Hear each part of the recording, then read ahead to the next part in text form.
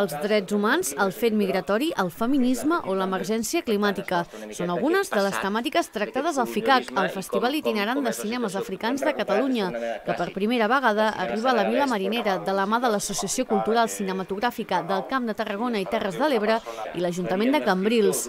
D'aquesta manera, els propers 5, 19 i 26 d'octubre, al cinema a la Rambla de l'Art es projectaran títols de filmografia africana inèdita com Farreu l'amor, Estel, La Petite Vendus de Soleil o l'escriptor d'un país sense llibreries. Tot plegat amb l'objectiu de mostrar una altra visió del continent africà a través del cinema i contribuir a la construcció d'una societat catalana antiracista i intercultural. El que ens movia eh, amb aquest eh, festival FICAC és el obrir-nos cap al continent africà.